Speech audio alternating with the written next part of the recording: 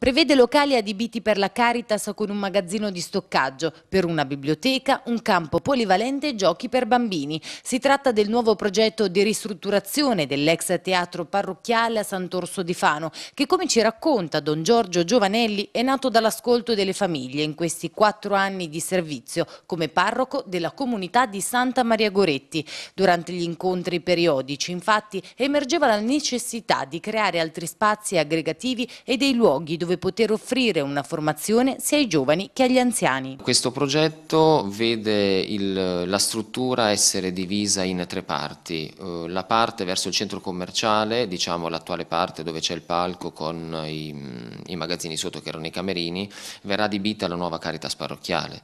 Quindi in quell'ambito lì ci sarà um, uno spazio di front office e back office, in pratica uno spazio dove poter con dignità accogliere le persone che fanno richiesta e lo spazio sottostante verrà adibito a um, magazzini di stoccaggio delle derrate alimentari, dei vestiti, vedremo insomma come, come poterlo organizzare, oltre che la centrale termica. Sopra la Caritas invece con un um, sistema di soppalco abbiamo intenzione anche con Don Matteo di ricavare uno spazio mh, piccolo però significativo di richiamo per la cultura, quindi la possibilità di avere una piccola mh, biblioteca per far sì che i nostri giovani, i ragazzi, le persone che desiderano un attimino ritirarsi per leggere, per studiare, una piccola postazione internet con degli abbonamenti di riviste online possano accedere a questo tipo di servizio. Poi ci sarà uno spazio um, nella sala grande per i giovani, per i bambini. Oltre a questo ci sarà un grande salone dedicato ai progetti ed incontri educativi. Si vuole rivalorizzare invece l'area sul retro con un nuovo campo polivalente, strutture per i più piccoli e un ampio parcheggio. Sono davvero grato al Vescovo e alla Conferenza Episcopale perché ci dà la possibilità,